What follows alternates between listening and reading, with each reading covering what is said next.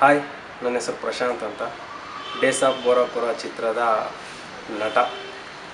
ಚಿತ್ತ ಚಂಚಲ ಸಿನಿಮಾ ನೋಡಿದೆ ಇವಾಗ. ತುಂಬ ತುಂಬ ಖುಷಿ ಆಯಿತು.